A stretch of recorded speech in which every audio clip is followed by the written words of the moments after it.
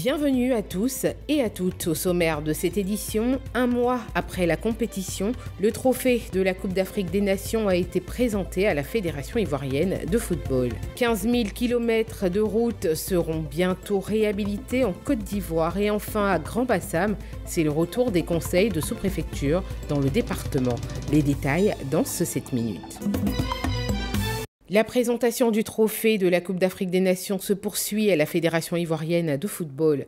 Après les présidents de clubs, c'est au tour des présidents, membres d'honneur et ambassadeurs de la FIF de toucher le sacre continental. Idriss Diallo a rendu hommage à ces dignitaires pour leur contribution à la victoire des éléphants. Chacun d'entre vous, dans son secteur, chacun d'entre vous, dans son club, a vécu ce que vit un dirigeant de club.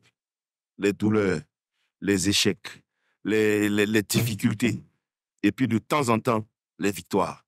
Mais c'est cette résilience que vous avez, et c'est pour ça que vous êtes notre modèle, c'est ce modèle de résilience que notre équipe nationale a pu avoir pour arriver au résultat que nous avons.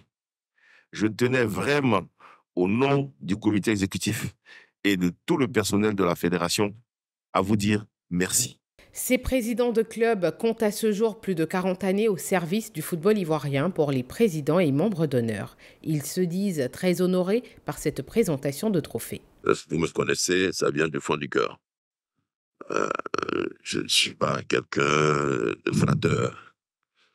Donc, félicitations à vous, félicitations au comité exécutif et à l'équipe. C'est un trophée pour lequel vous et moi, nous avons couru pendant longtemps. Il faut savoir que c'est Dieu qui donne. C'est Dieu qui donne. Sinon, c'est pas l'envie de l'avoir qui nous a manqué. Mais Dieu choisit c'est fidèle. Et vous faites partie de ceux-là. Au nom de ses pairs, l'ambassadeur Jacques Anouma a invité Idriss Diallo et son comité exécutif à faire en sorte que ce trophée soit un point de départ pour le football ivoirien en améliorant l'essor du football local. Une salle bondée d'étudiants, tous venus assister à la journée de l'étudiant et de l'entreprise, un événement inédit auquel a pris part le ministère ivoirien de l'enseignement supérieur et de la recherche scientifique. C'est un début du dialogue sur euh, de l'ajustement du contenu. C'est ça, on donc euh, les produits qui sortent de notre dispositif euh, des profils de compétences qui sortent de recherche sur le marché de. La journée de l'étudiant et de l'entreprise est un cadre d'échange entre enseignants et étudiants. L'objectif ici est de contribuer à l'insertion des jeunes diplômés. L'événement en est à sa première édition cette année. Il s'est tenu du 7 au 10 mars. 15 000 km de routes rurales bientôt réhabilitées grâce au projet de connectivité inclusive et d'infrastructures rurales en Côte d'Ivoire. Les 11 régions de la partie nord de la Côte d'Ivoire sont concernées par ce projet. On peut citer entre autres le Haut-Rodougou, le Kabadougou, le Folon ou encore le Poro. À cet effet, un atelier de lancement technique se tient du 12 au 14 mars avec tous les acteurs intervenant dans ce projet. Objectif présenter l'approbation du manuel d'exécution par les différentes parties prenantes à la mise en œuvre du projet de connectivité inclusive et d'infrastructures rurales en Côte d'Ivoire. Parce que ce projet a, a, eu une préparation jusque-là. Et là, maintenant, on est en phase vraiment de sa mise en œuvre opérationnelle. Donc, il est important, avant qu'on aborde euh, le démarrage euh, effectif des activités, que les différents acteurs qui seront impliqués puissent se concerter, puissent s'approprier l'approche qui sera adoptée pour euh, une réalisation efficace du projet. Le montant global du projet de connectivité inclusive et d'infrastructures rurales en Côte d'Ivoire s'élève à plus de 347 milliards de francs CFA. Mais le, point qui me semble important, c'est que au-delà du financement en tant que banque de développement, ce que nous apportons, c'est les savoirs. Donc, euh, pendant la phase de préparation, mais plus encore pendant cet atelier, il s'agit pour la Banque mondiale de partager des expériences, n'est-ce pas, qu'on a, a eu la chance de voir ailleurs. Euh, l'idée étant de voir si cela pourrait être profitable euh, à la Côte d'Ivoire. Donc, du coup, on participe donc à la construction des procédures et des approches pour qu'elles soient voilà, les plus productive, qu'on ait le meilleur rendement possible dans la mise en œuvre de ce projet. La fin du projet est prévue pour le 30 juin 2029.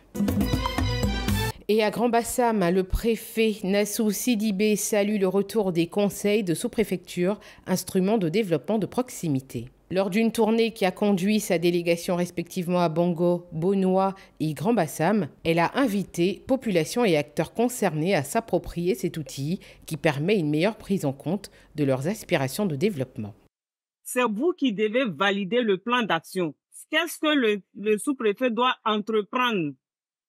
De commun accord avec les agents de développement que sont le, les, les, les, le conseil régional, les communes pour le développement de Bongo. Je n'oublie pas la mutuelle de, développement. Tel projet, on souhaiterait que tel projet soit prioritaire et que tel projet vienne en, en, seconde, en seconde place.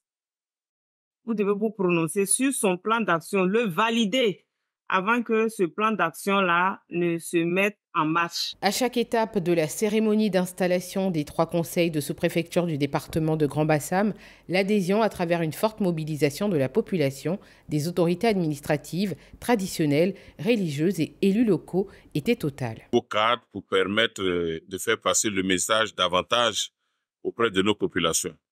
Donc, euh, c'est un organe qui est, qui est le bienvenu et qui va permettre donc euh, à tous les administrés d'avoir une meilleure compréhension de ce qui se passe comme euh, développement socio-économique. Cadre de concertation, les conseils de sous-préfecture réunissent l'ensemble des forces vives de chaque localité, occasion de faire un large tour d'horizon de la situation générale, économique, sécuritaire et sociale dans chacune des localités. La cérémonie a été marquée par la remise officielle de l'arrêté de nomination des membres du CSP au commandant Kwaku Amoy Chantal, sous-préfet de Grand Bassam. Voilà qui met fin à cette édition. Merci de l'avoir suivi. L'information continue sur cette info et sur 3 fois w.cetinfo.ci.